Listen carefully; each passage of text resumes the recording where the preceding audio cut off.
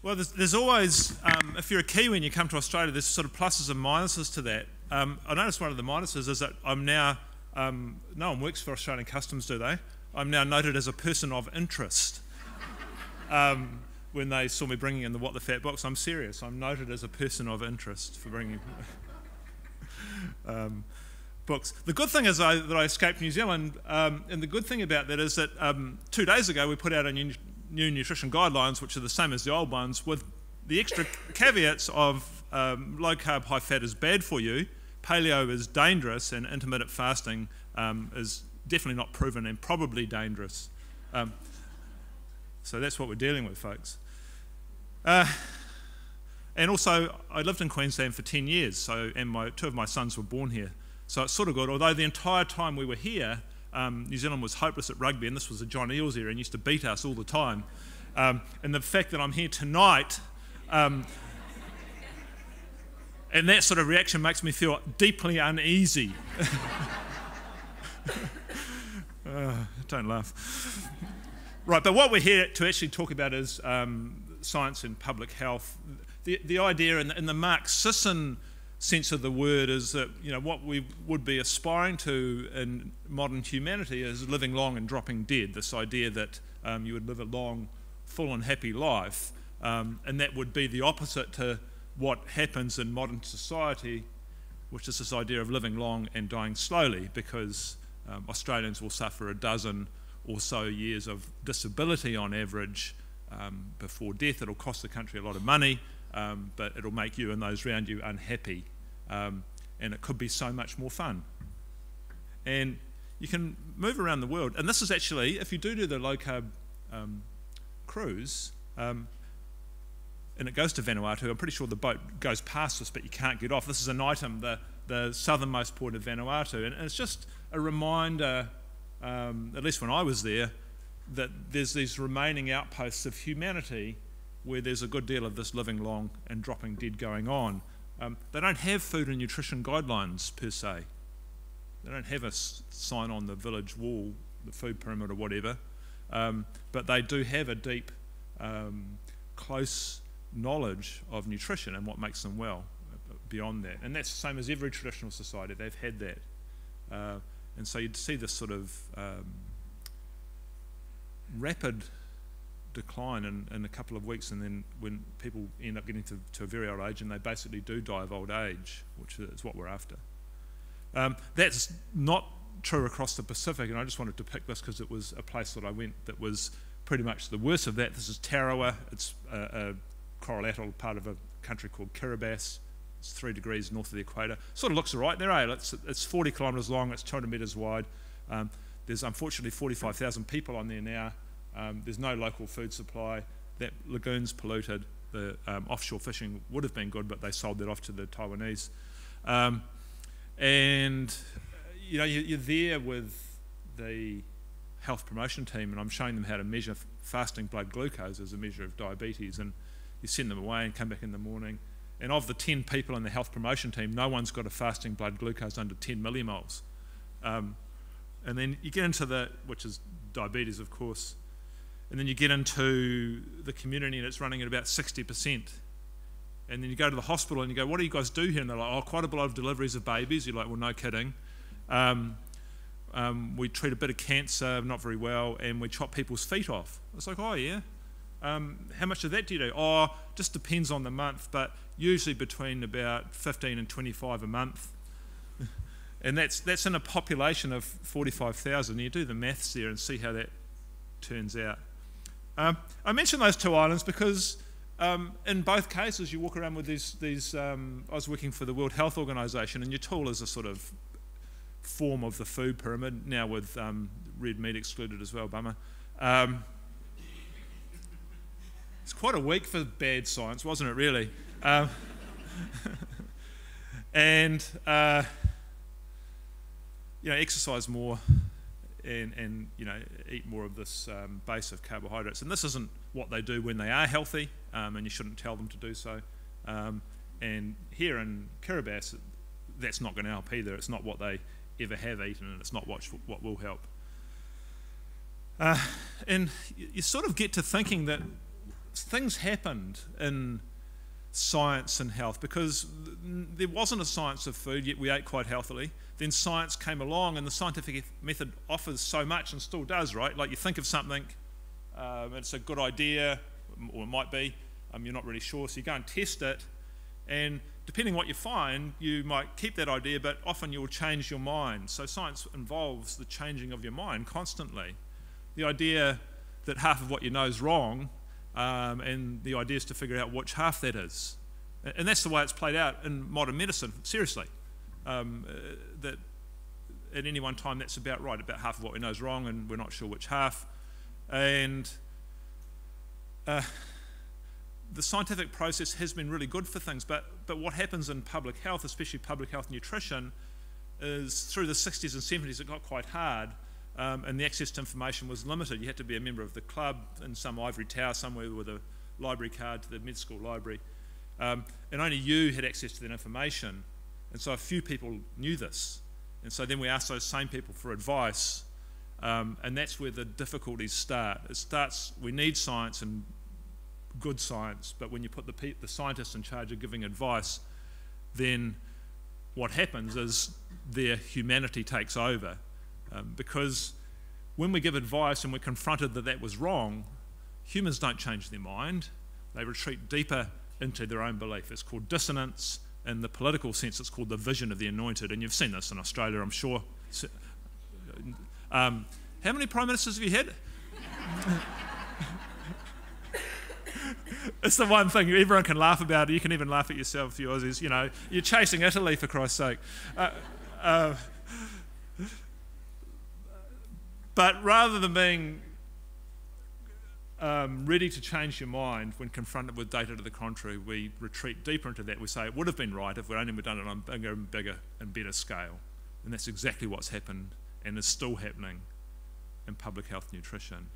Um, the idea that, the, that fat, um, dietary fat, uh, fat in your blood, um, being fat, um, you know, it had some logical basis. You know, fat has twice the calories. Um, it sort of looks the same, it's certainly spelt the same. Um, it just doesn't turn out to be true. And unfortunately, that's led to a whole plethora of uh, way we talk about and think about food that, that I think um, needs changing. Here's a new hypothesis. Um, and, I, I, wrote this for cardiologists because if you're talking to cardiologists, you have to use words that um, are bigger than normal to give yourself credibility. No, that's how you do it. So um, rather than going, you know, um, metabolic health and thing, you'd need to say something like atherogenic dyslipidemia um, would be more. But, you know, um, poor metabolic health is primarily driven by the glycemic environment, um, especially sugar and fine carbohydrates in the context of insulin resistance. In other words, it's dietary carbohydrate, um, particularly sugar, that drives all of these problems that range from cancer to diabetes to heart disease to some of the neurological problems.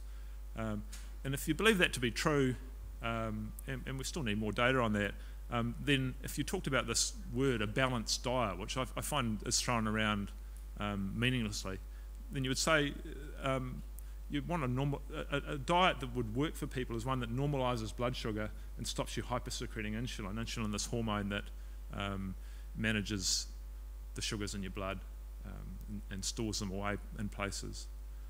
So straight away that's going to tell you something that um, the amount of carbohydrate that people will tolerate depends on the individual and it depends on the point of life of that individual. So um, there's points in life that it's really favourable to become insulin resistant. Um, a teenage girl, um, when you're pregnant, um, a woman going into menopause, all of those are times where you're favourable, it's favourable to store more fat, um, to shunt nutrients into different places. Um, look, I'm a male, so uh, probably just age affects me with age and things like stress or poor night's sleep, um, alcohol, and those things can drive insulin resistance as well. So um, just a, a, quick bit of science, because I think this is just important to be able to, to talk to other people about. Uh, you know, the, the, evidence on low carbohydrate, high fat is an intervention. It's not new. Um, there's not a lack of trials. There's probably 50 odd randomised controlled trials now when you, you pit these things head to head with other trials. There was a good meta-analysis that came out just the day before yesterday, showing that carbohydrate restriction was really the most effective of those strategies. Um, this is such a trial. The orange is the low carb people. Um, this is the low fat people. These are measures of metabolic health, or things that we regard as risks to your health. They all improve more. Going down is important for everything except for HDL cholesterol, which should go up, um, which it does. They improve more on the low carbohydrate diet. So that's important um, and interesting. Um, the same trial, these are markers of inflammation, the idea that um, the blood vessels in your body get slightly damaged and that healing process um, is a problem, inflammation. Um, this, this, again is important that a diet that's high in fat and low carbohydrate is profoundly anti-inflammatory. And I think most people are missing that um, in the modern um, diet context. Um, there's also this idea, this is about weight loss. People go, oh, all diets work because it's about eating less calories than you consume. And in science, actually in life, that's what you call a truism. It's true. Um, it's impossible, you can't defeat that law of thermodynamics. To be um, leaner than you were before, then you have to somehow burn energy up and you'll have to consume less and expend more. But it doesn't, that describes an open loop system, and hum, human bodies, of course, are a closed loop system. Um, and you can compare weight loss on different diets. This is called the A to Z diet study. It's, it's um, four different types of diet. Each one of those bars is a person's weight loss over 12 months. So you can, uh, and I think this is an important concept in science. Um, so here's what happens. If you randomize people to a low carb diet, some people, that's the green, lose um, some weight. Some people, nothing happens to them, that's the orange. And some people get fatter, that's the red. And that's important to know that in any treatment, um, it doesn't always work. And this is true of drugs, it's true of surgeons. Um, in fact, I was just reading about a type of back surgery, um, which I know nothing about, but you know, they say, well, if you smash this vertebrae up, we can, we can inject this super glue type concrete stuff into your vertebrae and it could work. And they say, well, how many operations would you have to do for one successful operation? The surgeon excitedly says, oh, 18. And you're like, shit, I don't reckon I'd you know, would you do that? So you got one, chance. and they, what about harm? Oh, that's about three and 18. You know, you wouldn't choose that, would you? Because you understand now this notion of number needed to treat and number needed to harm. Um, and you can understand that in drugs as well. And these are questions that are worthwhile to ask your doctor whenever they want to give you a medication, whenever you, they want to give you a treatment.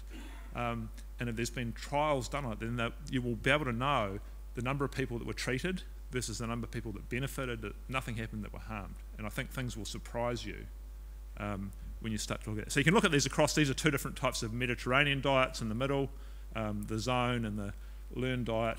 Um, less benefit, um, more harmful on average, and this is a typical conventional low-fat diet. You know, so on that basis, people, more people benefit and less are harmed um, when they get the low carbohydrate diet treatment.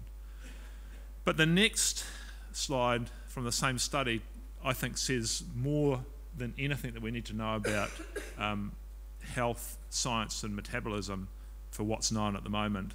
And that's this that when you look afterwards and you look at who loses weight on these different diets, just the low carb and the low fat now, um, you'll lose weight on the low fat if you're insulin sensitive. In other words, your body easily moves carbohydrates.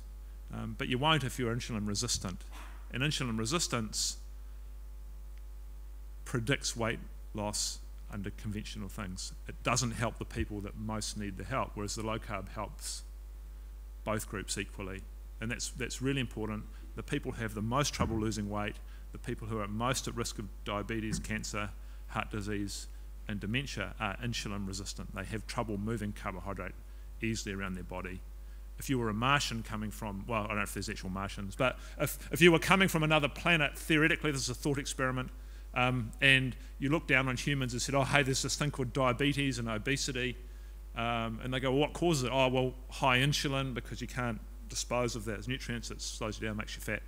They would go, huh, why don't they just eat, why don't these humans just eat less of it? You know, uh, on first principles, it's an absolute no-brainer. Um, but I don't think you should trust me because I'm a scientist. Um, you want us to do stuff, but you don't necessarily want us to, to, to take our advice um, as gospel because that is dangerous to your health, and that's proven time and time again. I think you, you want us to be able to communicate effectively and make up your own mind. And things have fundamentally changed, haven't they? Because there's now you now have access to the same information I have, plus you have a whole lot of people in the blogosphere and Twitter interpreting it, and you can make what you want of it. Not only that, and I'm strongly in favour of this, is the idea of the n equals 1 experiment of trying something, it doesn't have to be forever, trying some particular things and seeing what happens. Um, when you do that, I'm all for embracing failure because you will fail. You will do something and you'll feel terrible. For example, I did some fasting last week, and by the end of it, I couldn't get to sleep. Um, you know, I had fasted for quite a long time, but you know, uh, so I, I stopped and ate some food again, and I felt much better. Um, you know, I was grumpy and angry and um, generally not nice to know, according to my family. I thought I was all right, but you know. so, but, but that is important, isn't it? This, this idea of taking some responsibility and seeing how it goes um, and keep changing it up. Quick fire um, questions that I was just thinking about. Can you eat too much fat? I reckon you can. Um, and I think that's a mistake. People um, think that this is an unlimited fat diet. Look, if you hold yourself down and force fat down, then you still can't defeat that law of thermodynamics. You'll get fatter. Um, what about the blood? My, the, the, my blood lipids matter. Yes, they do. Um, but what drives, this is a feeding experiment, what drives, this is triglycerides, fats in your blood, what drives fats in your blood are primarily carbohydrates. So this is the fats in your blood when you eat a low fat, high carb diet, and when you eat three times more fat and creating three times more saturated fat, the fats in your blood, interestingly, only go up half the amount. That's important to know. Fats in your blood do matter, they're driven by carbohydrates. Um, the fats in your blood, things like triglycerides, um, HDL cholesterol, all go in the right direction with all types of fat, monounsaturated, some polyunsaturated um, saturated fats. Saturated fat does drive up sometimes LDL cholesterol, but importantly, it doesn't affect the small, dense apolipoprotein B particles in that. So, eating fat, I don't think um, affects the fats in your blood adversely. If you want to look at some of the numbers, um, I think the triglyceride number that your doctor gives is, is important, um, probably the most important number. It's totally responsive to dietary carbohydrate. This is a great graph that um, Ken Sikaris, pathologist from Melbourne, put up a couple of years ago. Um, it just shows you that if you can get your triglycerides measured by your doctor, then you can predict these um, small, dense apolipoprotein B particles in your blood. So if, if, your triglycerides are under one, you've got virtually none of the small, dangerous particles. If they go above that, you start to get mostly those. Uh, and that's important. So I think triglycerides and HDL cholesterol um, are important numbers. Do you need to exercise? Well, of course you bloody do. You know, like, not there because that's a shore break and, and, you're going to get smashed. But um, you know, I just find that discussion bizarre. Well-being depends on humans moving. You know, it might have so much to do with weight loss, but exercise is crucial for your health. Hello. Um, can you have your kids on LCHF? Well, mine are. They just don't know it. And they seem to be fine, like he's surfing, whatever. Um, but here's an interesting graph that I dug up. Um, this is some this, these are the sort of starvation studies that this guy um, Cahill has done over in the 50s and 60s. You couldn't do them now, not ethical. But if you starve um, like little wee babies and stuff, uh, and infants, but the good thing is you don't have to start. this is the, the, the time it takes to get them into nutritional ketosis. And it's just a matter of hours. This is a normal human state, and they get into it very, very quickly um, because of, of presumably the relative size of their brain and the need to protect that brain with ketones. Um, and you can see as they get older, it's still in the matter of hours for, for, the, for the, all kids, um, and then for um, adults, it's, it's, um, it's a matter of days. So, you know, let's not think nutritional ketosis is some dangerous state for kids. This is a normal and natural state.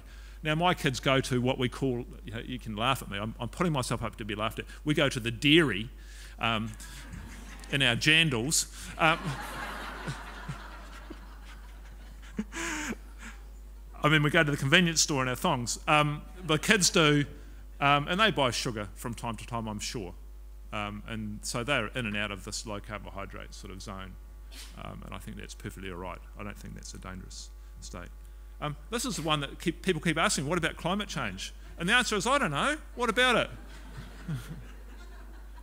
I, I don't know.